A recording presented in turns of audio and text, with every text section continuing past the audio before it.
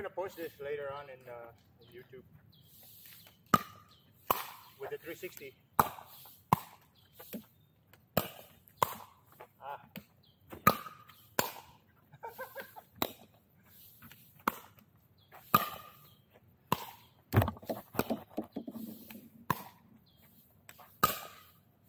I, I just remembered LumaFusion can do 360. Can.